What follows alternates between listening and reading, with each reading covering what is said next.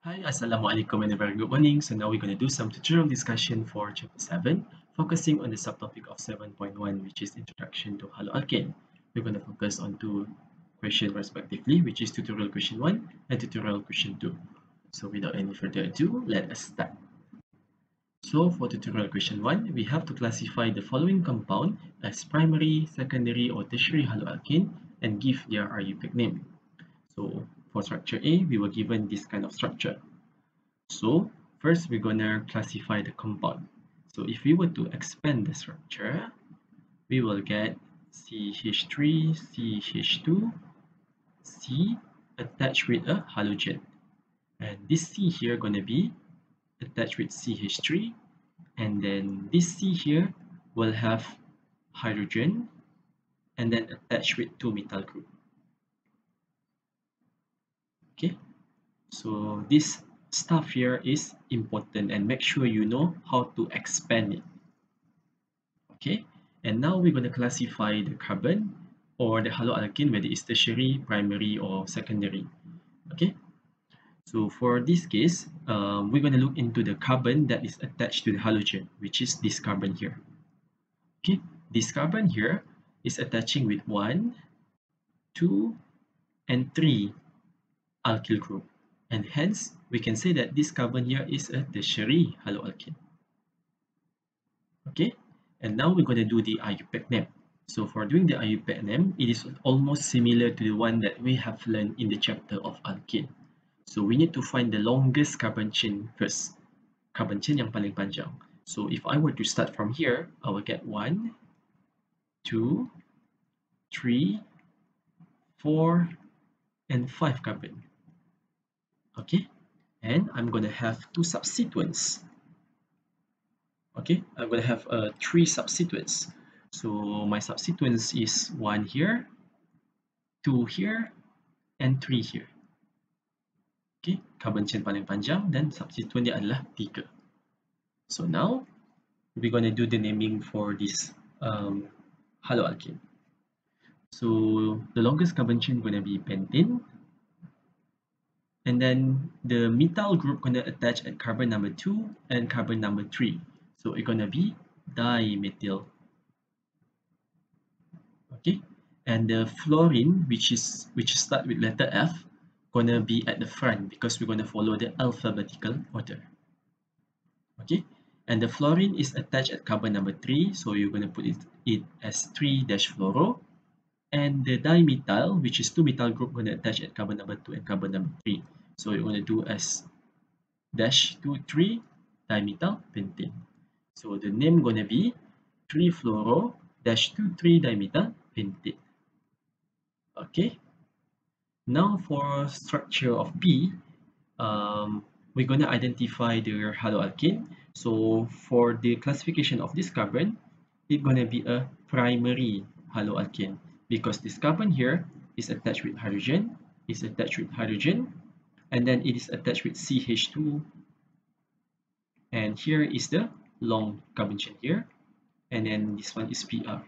So this carbon here is only attached with one alkyl group, and hence it is a primary haloalkane. As for the naming, first we need to find the longest carbon chain, carbon chain paling panjang. So I think the best way we can start from the end here, which is 1, 2, 3, 4. So now we can go up or we can go straight. So let's say if I go up 1, 2, 3, 4, 5, 6. I only got 6 carbon chain. Okay. However, if I go straight, I will get 5, 6, 7. So I know that the longest carbon chain going to be here. So not this one. So the CH2 CH2Br gonna be my substituent. Okay. So when we do the naming, we can name the longest carbon chain as heptene. And then at carbon number 4, we're going to attach with the substituent, which is uh, this one is going to be labeled as carbon number 1 because number 4 here is number 1 and this one is number 2 so the substituent here going to be named as 2 bromo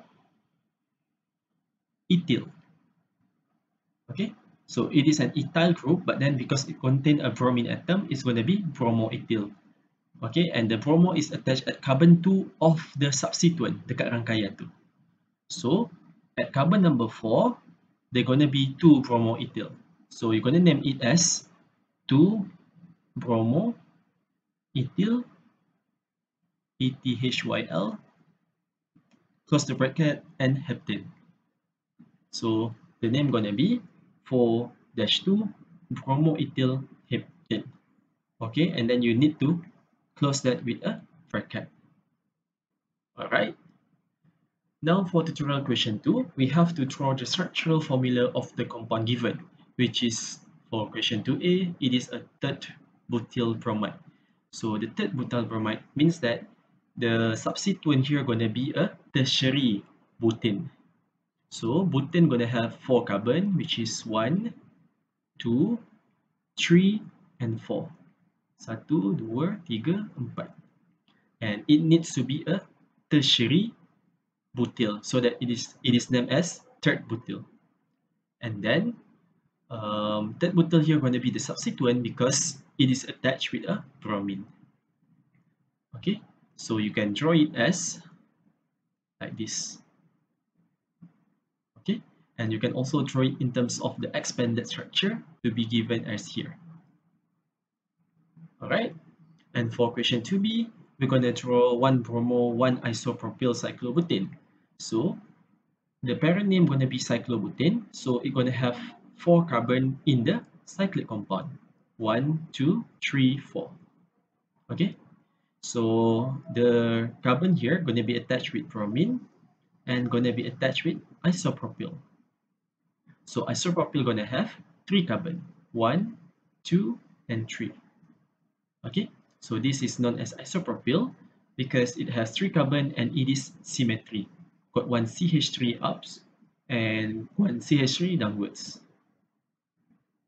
Okay, so you can draw it as this way and you can also draw, draw it as um, uh, this expanded structure here.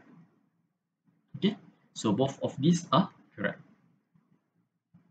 Okay, so I think that's all for today's video. See you again some other time. Bye!